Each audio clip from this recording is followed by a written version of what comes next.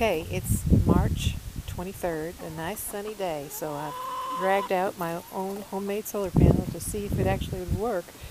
Um, what you're seeing here is, um, well, you're seeing my little baby goat get in the way, but you can see this is just a cheap old um, picture frame. I actually got it at Big Lots for $30 and took the really disgusting, gross, fake art uh, picture out um, and used flipped it over and used it for part of the backing.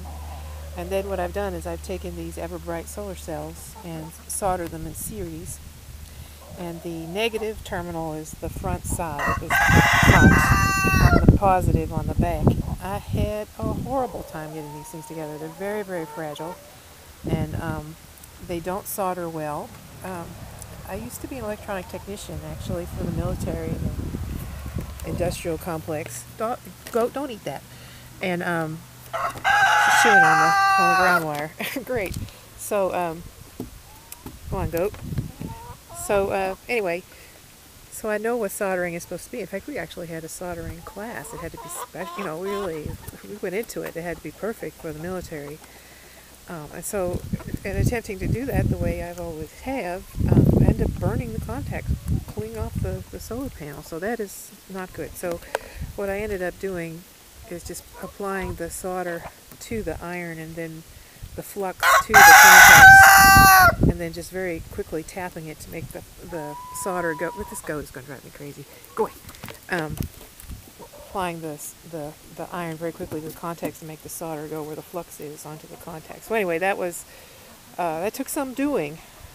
And then the bus wires, you can see these, I connected them. Um, see these, this is actually the negative side here. Um, supposed to be. I had, well, see, I pooped them up reverse polarity. Because when I came out here, first of all, I was really surprised to see it work. See, there's a broken one right there. And these, the way they came, they weren't soldered, like I said, very well. These, these little tabs on the cells were not on there all the way. And I was trying to get them to lay flat, and they wouldn't. And oh my God. And then when I put them into the, the frame, they shifted a lot.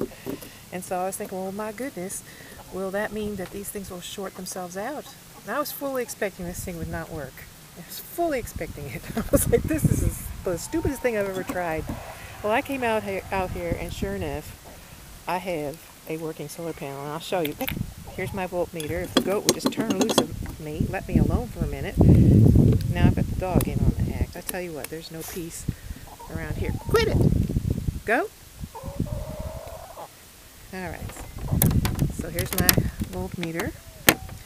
You can see that. I think you can see that. Goat, stop it. I don't have a solar panel left. She's going to keep chewing on it. Um, anyway, so it took 36, get away here. It took uh, 36 of these uh, Everbright solar cells, which I got on eBay. Um, and they're all in series, like I said. Whoops, I'm going to pull positive lead out. Here we go. Right now. And I, what I did is I sacrificed a um, outdoor um, extension cord, cut off both ends, and soldered the wires to one of the, the positive and negative bus.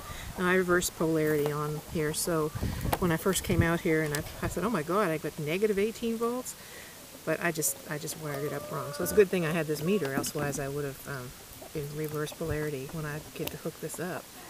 This is very difficult to do while holding a camera, I'm telling you what. Hang on one second.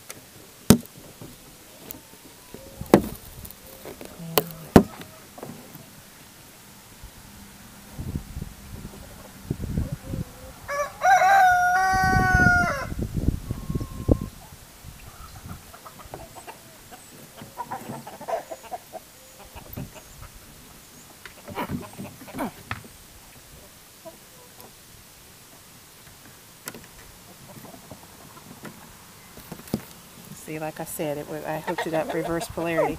All right, now we're in the full sun. A little while ago I had 18 volts, but now we're getting 12. Which is, I guess, is why we put so many of these ding-dong solar panels cells in here, is to make sure that you get an average of about 12 volts. So there it is. So you see that. I, I need to reverse my leads to get positive, but there it is, negative 12.0, 12.7. Um, so a working solar panel for cheap. I mean, I have enough solar cells. I bought enough for three panels, and it was two hundred dollars. And of course, the um, picture frame was only thirty bucks. Now, um, the kit came with solder and flux. I did have to get another soldering iron because mine was not working right. I thought it was the soldering iron at first. Just stop it. Go away, go. Um, uh-oh, I think we just broke it.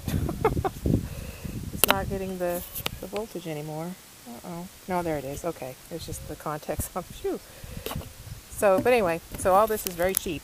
Here's this pest that's driving me insane when I'm trying to show you my solar panel. Um, so anyway, so and so it's what I had. Oh, you know, I had to buy a meter because mine, you know, since all those years ago that I was electronic technician, mine had was no longer any good. So $16 meter, uh, maybe a $4 extension cord, $30 um, picture frame, um, $200 solar cells. I did buy another um, battery. I have um, already had a used um, 6 volt battery uh, for a um, lawn tractor, and so I got some $5 connectors to hook that together in series. And then I just need to buy a little bit of, oh yeah, and I spent, I think, 19 or $20 on a solar uh, charge controller, which I'm not even sure if that works.